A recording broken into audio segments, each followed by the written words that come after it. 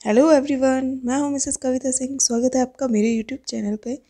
आज के इस वीडियो में मैं आपको बताऊँगी कि आर्ट की लच्छी में से अगर डोरी निकल जाए, देखिए इस तरीके से तो आप कैसे सही कर सकते हो? देखिए इसकी जो दूसरी वाली साइड है, अपन वैसे ही इसको अटैच करेंगे। तो देखिए किस तरीके से अपन को करना है। इसकी जो लच्छी है, लच्छी टूटी नहीं है, लेकिन इसका जो धागा है, वो इसमें से निकल गया है। तो देखिए इसको अपन कैसे सही करते हैं। अगर आपके पास ऐसी गोल्डन हो डोरी तो गोल्डन लपेट सकते हैं आप इसके ऊपर। और अगर गोल्डन नहीं है तो आप कोई भी वाइट कलर का धागा ले सकते हैं। लेकिन थोड़ा मोटा धागा लीजिएगा, ताकि आपको इस पर कम लपेटना पड़े, कम लपेटने से ही सही हो जाए। अगर आप पतला वाला धागा लेते हैं तो बहुत ज़्यादा लपेटना पड़ेगा, इसमें आपको बहुत ज़्यादा टाइम लगेगा। तो देखिए, मैंने लच्छी के बीच में से इसको निकाला है। ये देखिए इस तरीके से डोरी को, और अब अपन क्या करेंगे, इस डोरी पे धागा लगाएँगे। तो देखिए किस तरीके से लगाना है। डोरी को ऊपर एडजस्ट कर लेते हैं इस तरीके से। ये इतना लगभग एक डेढ़ सेंटीमीटर जितना है, इतने पे अपन को लगाना है। तो देखिए मैं जो है वाइट वाला धागा है, लगभग उसको आधा मीटर ले लूँगी, आधा मीटर से ज़्यादा भी ले सकते हैं। वो आपकी लच्छी पे डिपेंड करता है कि आप धागे को कितना अंदर रखना चाहते हैं। तो ये मैं धागा काट लेती हूँ इसको। ये लगभग आधा मीटर से थोड़ा सा ज़्यादा है। ठीक है? तो अपन इसको सीधे से कट कर लेते हैं। अब अपन क्या करेंगे, इस धागे को डबल कर लेंगे। डबल करने से फोल्ड जो है कम करना पड़ेगा आपको। सिंगल धागा अगर अपन लपेटेंगे तो बहुत ज़्यादा टाइम लगेगा। तो ये देखिए, अब अपन क्या करेंगे? आगे से इसको बराबर कर देते हैं। अब ये डबल हो गया है। डबल धागा अपन इसके ऊपर लपेटेंगे। तो देखिए किस तरीके से लपेटना है।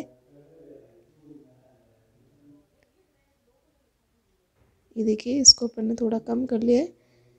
क्योंकि इतने से भी अटैच हो जाएगा। अगर अपन ज़्यादा बाहर रखते हैं डोरी को तो फिनिशिंग सही से नहीं आती है, ठीक है?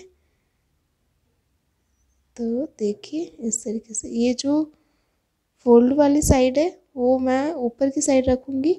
और लास्ट में जो है गांठ देने के लिए इतनी इतनी डोरी अपन को चाहिए होगी। इसलिए मैं ये ये देखिए ऊपर की साइड से पकड़ लेती हूँ इसको, ताकि गांठ देने में ये अंदर दबे नहीं।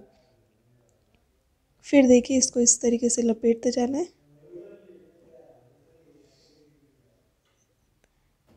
ऐसे ही अपन इसको लपेटते जाएँगे। आप चाहे तो किसी की हेल्प लेके भी कर सकते हैं।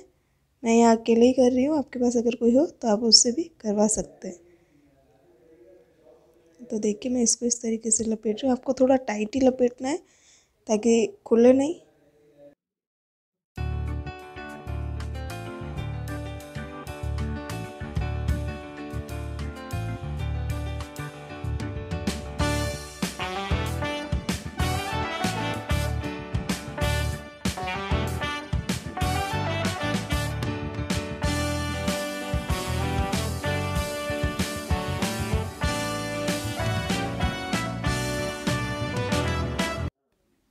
देखिए, यहाँ तक पूरा मैंने लपेट लिया है और धागा भी जो है एकदम बराबर ही है।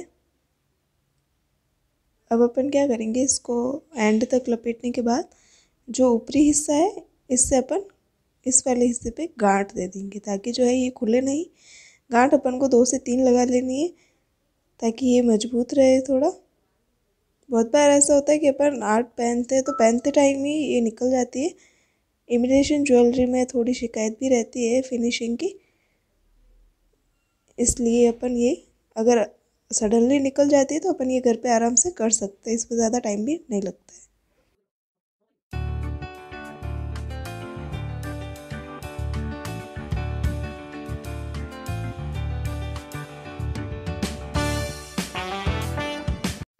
तो देखिए, ये हो गया है, अब अपन इसको एक्स्ट्रा पार्ट जो था वो कट कर दिया है। देखिए ये अच्छे से हो गई है।